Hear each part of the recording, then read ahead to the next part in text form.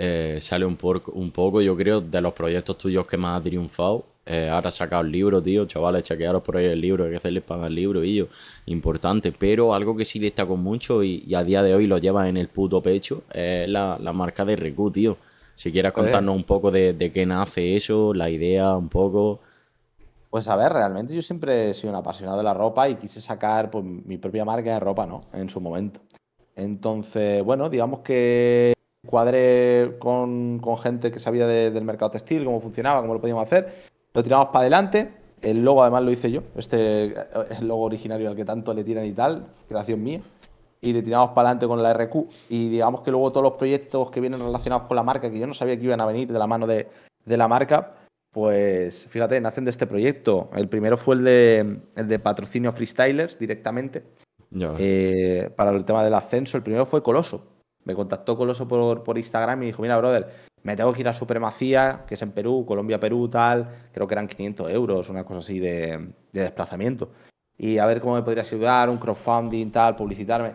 Y yo estuve pensándolo, además me acuerdo dónde estaba. Estaba en un, garito en Benidorm con mi, con mi parienta, eh, tomándome un mojito de fresa. Me acuerdo perfectamente.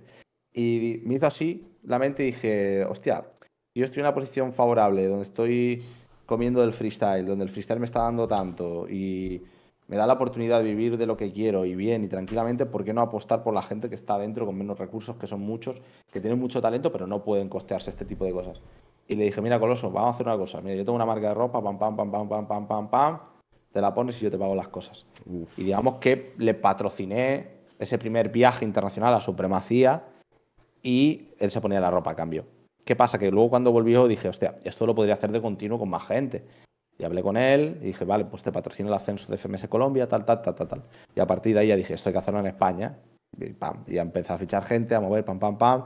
Y luego un montón de proyectos que han venido de la mano, de patrocinar un equipo de fútbol como es Guinea Ecuatorial en Madrid, el patrocinar competencias, que bueno, yo ya he montado la mía aquí en Torra, pero patrocinar la de Rey de Barras en Guinea Ecuatorial, Perros de Calle ahora en, en Argentina, que es mm. otra competencia super underground, el tema de hacer las RQ Musics, ahora la RQ League, y un montón de cosas que tienen relación con, con la marca que ha nacido ahí del, del proyecto, que al final la marca no da dinero porque cubre muchísimas claro, y necesidades del talento.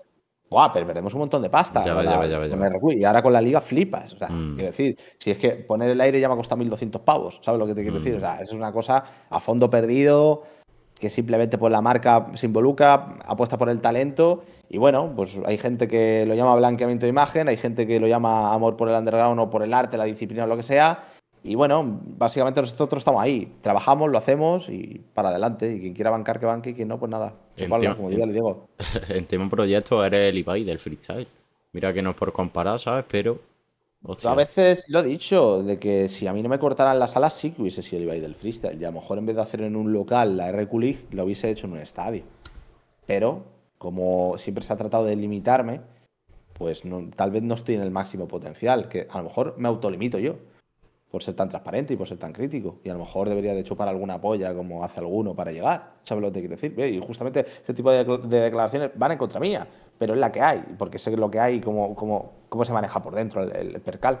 Pero al final soy como soy, soy transparente, trato de ser educado siempre con buena forma, desde el respeto, pero si yo opino X, te va a decir X de la mejor manera posible, pero X. Entonces creo que eso puede que me haya mermado, ¿sabes? Que al final sea un autosabotaje incluso. ¿Qué eres tú, tío? Eh, quizá siendo un con filtro censurado, comiendo polla, sin más, sería otro creador de contenido así que no es diferente. Entonces, que tú seas así, estás tachado de muchas cosas, pero eres quien eres por, por eso, tío. Sí, me lo han dicho muchas veces. Dices, que bueno, es que si no fueras como eres, yo creo que no hubieses destacado. Mm, Puede ser, no sé, eso es un futurible. Tal vez si me hubiese relajado en su momento, a lo mejor hubiese desaparecido o me hubiese integrado también de que, no sé, estaría en FMS de jurado, o estaría trabajando para el Red Bull de Caster, como están muchos, o estaría haciendo una liga mucho más potente en un estadio. No sé, son futuribles, pero ya te digo que a mí me han cerrado muchísimas puertas, obvio, y las he tenido que abrir yo a patas. Vale, pero siendo Rodrigo Quesada, ¿eres feliz? Bueno, por supuesto. Pues ya está. Muy, feliz. muy feliz. O sea, tengo la vida soñada. o sea, vivo en mi casa tranquilamente con mi mujer, voy a ser papá, eh, tengo, un montón, tengo un montón de hijos raperos también. O sea, quiero decir, yo, yo vivo tranquilísimo viviendo de lo que me gusta, de lo que me apasiona, que son la batalla de rap, la comunicación, un montón de proyectos. Económicamente me va muy bien. A nivel Mm. amistades y tal, sigo teniendo las mismas que siempre. La fama también es un complemento, aunque tiene sus cosas buenas o cosas malas. Total, tío. Mm. muy feliz.